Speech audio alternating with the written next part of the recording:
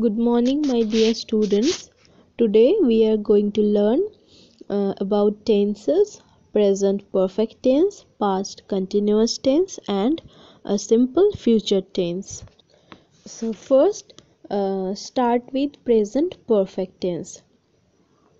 The present perfect is used to express actions completed in the immediate past but the effect continues. For example, she has studied Japanese and English. Perfect is used uh, to express past actions when the past time is not mentioned. For example, he has visited the Golden Temple. So, you should keep in mind uh, that the present perfect is never used with adverbs of past time. Uh, we should not say, uh, for example, he has gone to Kolkata yesterday. So, here yesterday is the past time. So, when time is mentioned, we need to use simple past tense. In such cases, the simple past should be used. It will be he went to Kolkata yesterday. Then, third point. We use present perfect to denote an action uh, beginning at some time in the past and continuing up to the present moment. For example, we have lived here for 10 years. Now, note that uh, we generally use present perfect tense with words and phrases like uh, just, already, never, ever, today, yet, till, until now, so far, for phrases, since phrases, these phrases. Now the past continuous tense. The now the past continuous is used uh, to denote an action going on at some time in the past or to express an action in the past uh, that lasted for some time.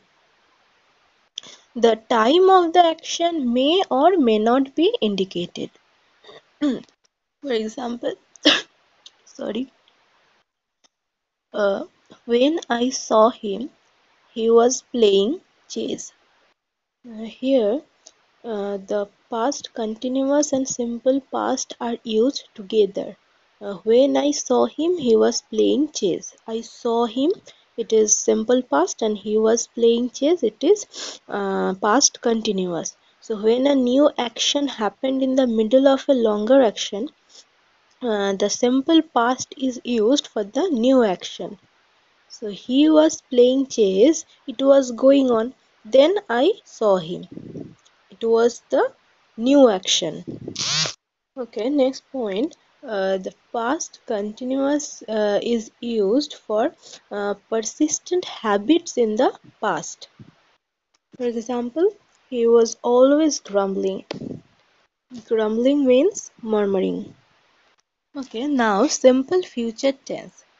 The simple future tense is used to talk about things uh, which we cannot control.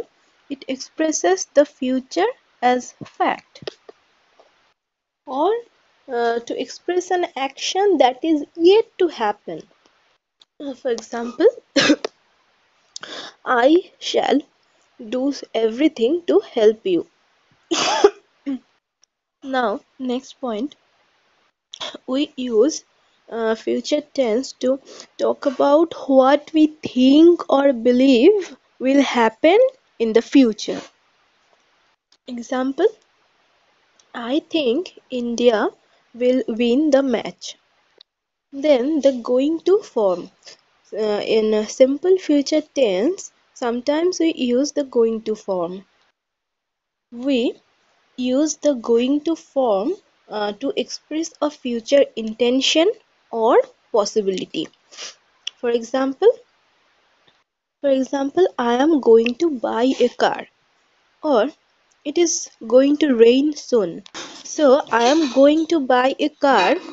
It is a future intention that you have already decided that you are going to buy a car. and it is going to rain soon it is possibility